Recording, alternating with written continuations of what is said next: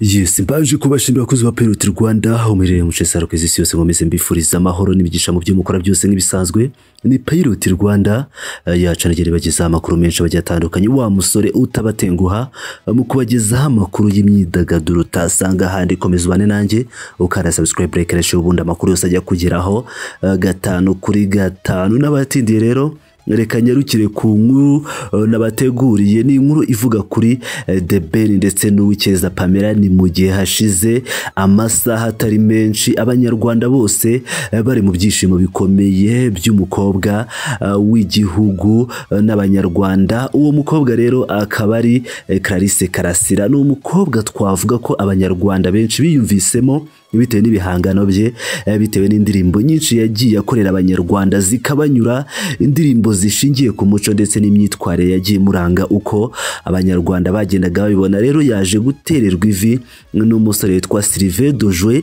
Uyu musore akaba yamaze kumwambika impeta ya fiancé ndetse bakaba bitegura ubukwe eh, ndetse uyu musore hakaba haje amakuru avuga ko ari umuntu ukomeye dore ko yagiye yiga mu bihugu bitandukanye birimo Ghana ndetse na Leta Zunze Ubumwe za Amerika.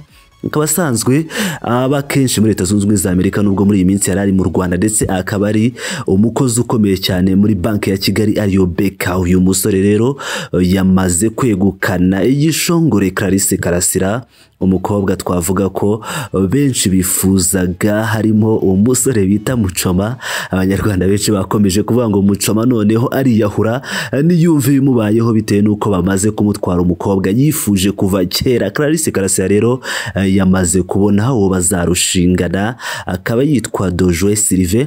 Amafoto ye akaba yamaze kujya henshi hatandukanye eh, ku mbuga nkoranyambaga zitandukanye. Kandi nkaba nagiye mbagezaho byinshi kuri uyu musore. N'abatindi rero eh, reka nyarukire ku nkuru ya The Ben. Uyu ni umusore nawe ukunzwe cyane mu gihugu cy'u Rwanda mu ndirimbo nyinshi zigiye zitandukanye eh, yagiye asohora ndetse n'ubu hakaba ari indirimbo ye nziza yakoranye n'umugandekazi ikomeje kubica bigacika muri East Africa cyane cyane mu gihugu cya Uganda ndetse no mu gihugu cy'u Rwanda. N'abatindi rero uyu musore ari mu rukundo ruziguye urukundo rwiza urukundo abantu benshi bakomeje kugenda bakurikirana cyane n'umukobwa witabiriye Miss Rwanda Miss Uwikeza Pamela. Urukundo rwabo rero rukomeje kugenda rubica ku mbuga nkoranyambaga ndetse benshi bakaba biteze eh, byinshi kuri uru rukundo rwabo ko rushobora kuzagira byinshi. Ruvamo rero uyu mukobwa aje gutungura uyu musore bakundana uh, nk'ibisanzwe amubwira amagambo y'urukundo meza cyane yakoze ku mutima wa The Ben ndetse n'abanyarwanda benshi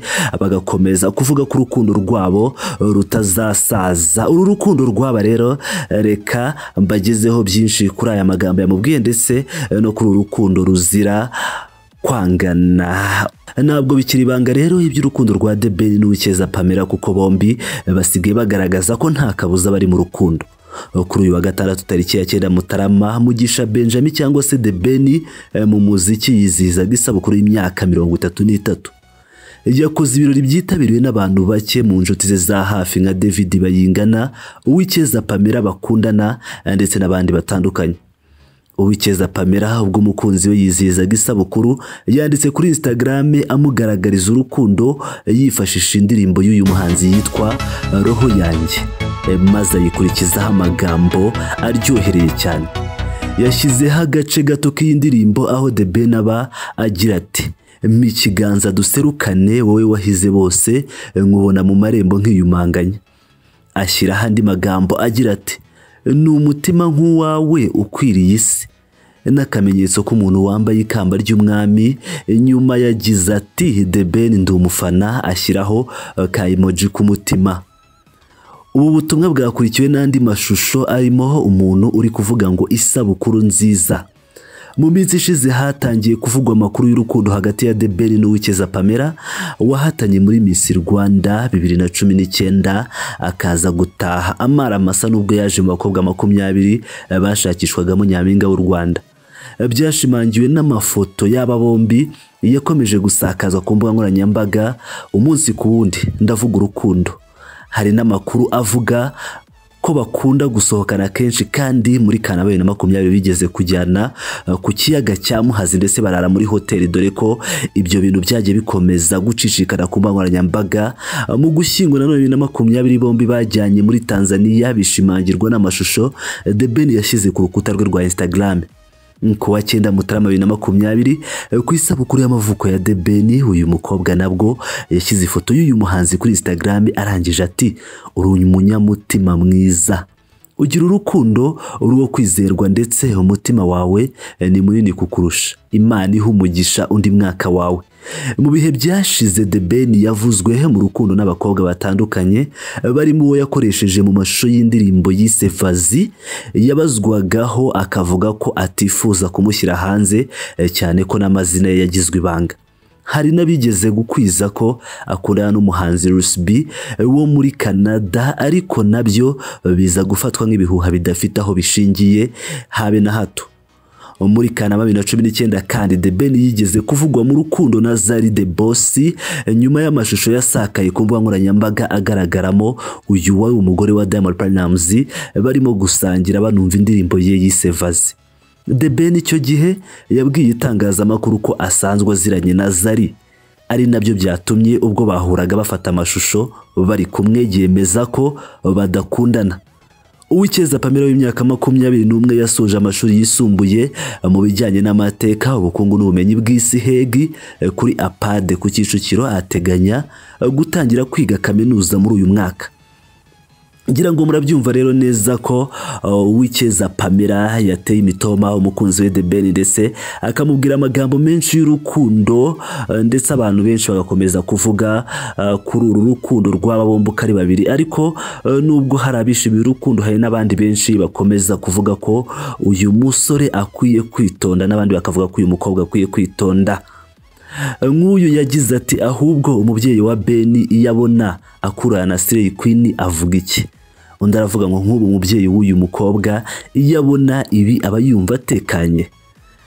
Guys ngira ngo murumva izo ni zimwe muri comment zigiye zitandukanye ziba zigenda zivuga ku rukundo rwa The ndetse na Pamela Uwicyeza Miss Uwicyeza Pamela umukobwa mwiza cyane umukobwa uteye neza umukobwa ufite uburanga buzira mukorogo dore ko rwose yemeye kwirabura kwe ndetse bikaba bimubereye cyane bikaba bigaragara ko ari umukobwa mwiza cyane uzira igiheri umukobwa mwiza rwose ubona ko ashobora kuba afite n'umutima mwiza. Guys uri mu rukundo n'umuhanzi ukomeye cyane mu gihugu cy'u Rwanda The Ben. Guys tubibutse ko muri uyu mwaka uh, ibyamamare bitandukanye harimo Meddy yateye ivi Miss Mwiseneza Josiane yaterewe ivi ndetse na Clarissa Karasira yaterewe ivi. Ngira ngo murumva ko ibihe biri kugenda biba byiza ku byamamare Miss Mwiseneza Josiane nawe nyuma yo guterwa ivi abantu bategereje ubukwe ko buzaba muri bibiri na makumyabiri nk'uko yari yabitangaje. Ariko biza kurangira ntawe umenye uko byarangiye. Twari dutegereje byose byose aba bose bari gutera amavi cyangwa bari kwambika impeta abo bakundana babifuriza cyangwa babasaba ko bazababera abagore abandi bakabyemera. Reka dutegereze tumenye ese ubukwe buzagenda buba neza ni Pilot Rwanda rero ngira ngo murumva ko ari ibintu biba bigenda bikomeza gucishikara ku mbuga nkoranyambaga ziba zigiye zitandukanye. Kandi tubibutse ko urukundo rundi rwari rukomeye rwa Her Majesty Uwase Vanessa rukaba rwaramaze kurangira nyuma y'uko uwitwa Putin Kabaro yamaze kwanga bidasubirwaho Raisa Uwase Vanessa Miss Raisa Uwase Vanessa ngira ngo murabizi nawe ko yabaye igisonga cya mbere cya Miss Rwanda bibiri na cumi na gatanu. Urukundo rwabo rwo rwamaze kurangira. Abanyarwanda bamaze kurusiba bararwibagiwe ndetse Raisa Uwase akaba yaramaze gutangaza ko ari singo hakaba hagenda haza amakuru agiye atandukanye bigaragaza ko ashobora kuzabona umukunzi ariko nanone igihari ni uko ubu ari singo guys yango murumva ko mu byamamare ibintu biba bigenda bikomeza gucaracara. Hari amakuru menshi menshi menshi mu nkundo ziba zigiye zitandukanye. Ni Pilot Rwanda rero. Reka dukomeze n'andi makuru menshi. Reka njye gusoma amazi nkwe ku mazi. Ubundi ngaruke mbagezaho andi makuru araba agezweho. Komeza ubane nanjyeho kandi subscribe like share ubu tujya dukomeza. Tubane gatanu kuri gatanu muri abagaciro ndabakunda cyane brace up.